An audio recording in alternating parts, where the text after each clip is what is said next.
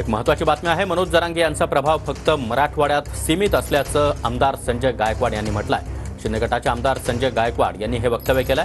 एकनाथ शिंदेंच्या कामावर राज्यातील जनता खुश असल्याचा दावा देखील गायकवाड यांनी केला आहे पुन्हा एकदा राज्यामध्ये शिवसेना भाजप सरकार येणार असा विश्वास देखील संजय गायकवाड यांनी व्यक्त केला आहे जो तो आपल्या अस्तित्वाची लढाई लढणार आहे.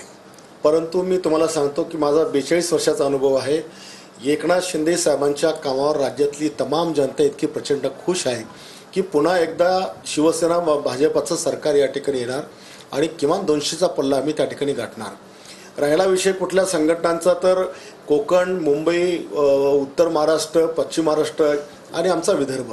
इकडे त्या काही गोष्टींचा प्रभाव नाही आहे मराठवाड्यातल्या काही जिल्ह्यामध्ये त्यांचा प्रभाव आहे आणि त्यांनी तसं त्यांना न्याय मिळत असेल तर ते त्यांची लढाई लढतात आहे